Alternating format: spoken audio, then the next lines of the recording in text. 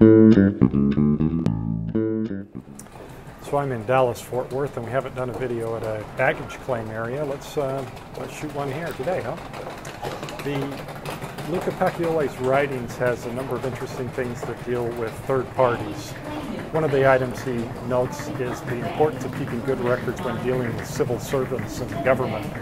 He notes that often those in those positions change, and those that come in disavow the recording practices done of those previously.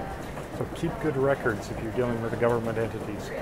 Also, the number of parties involved in banking transactions is another place where he notes the importance of good records.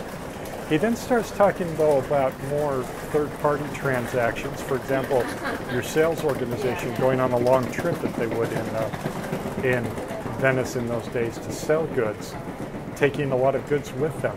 Record the goods that that person takes so that when they come back, they have to account for all those goods with the cash and sales involved and record all of their journals and take all a copy of their records with them as they go on the sales trip. He also notes that as you go around uh, with someone and if you consign goods with another party, that they'll have to take those goods on and record your transactions for them in their books.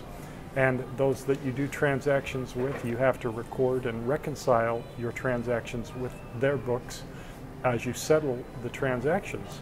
This is all points to the point of historically, we have kept separate books for each individual party involved and then had to reconcile the differences between those books.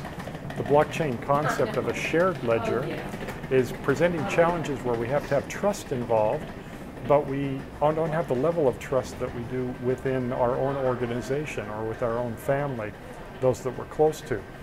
This is an important point of, of trying to get to a shared ledger and the efficiencies involved there and yet making sure that what is recorded is accurate and useful going forward.